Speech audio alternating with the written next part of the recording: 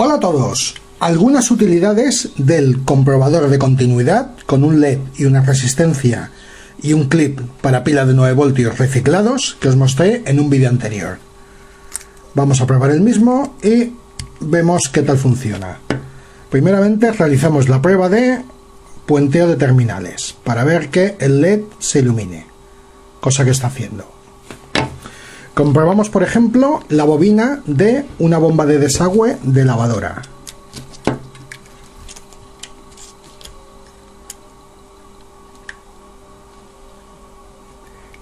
Y la misma tiene continuidad.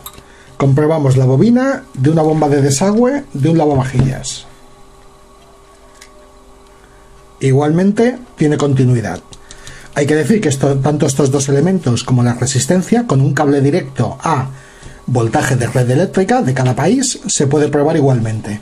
Con un cable directo la bomba giraría y lo mismo para la otra y lo mismo para la resistencia. Pero ya digo que podemos tener una comprobación con nuestro comprobador de continuidad casero de bajo coste. Comprobamos la resistencia, comprobamos si está derivada, aunque para esta prueba lo suyo sería un polímetro, no está derivada, inicialmente la resistencia está ok comprobaremos. Una resistencia, más o menos puede comprobar resistencias hasta 2K2, 2200 ohmios, esta es de 330, por lo tanto, también una resistencia de electrónica, ok. Comprobamos una resistencia de lavavajillas, la misma igualmente está ok, vamos a poner aquí que se vea un poco,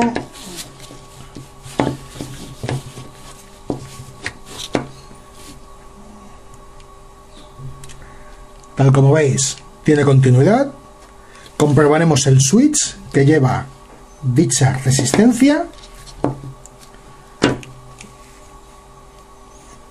Colocamos los dos terminales y puenteamos el switch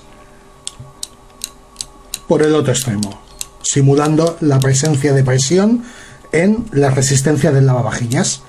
Tal como veis, el conmutador, el switch que activa la bomba de, perdón, que activa la resistencia del lavavajillas está funcionando correctamente y la resistencia del lavavajillas también tiene continuidad. Por lo tanto, unos cuantos pequeños ejemplos de uso que podemos darle al comprobador de continuidad que ya os mostré en un vídeo anterior. Un saludo para todos.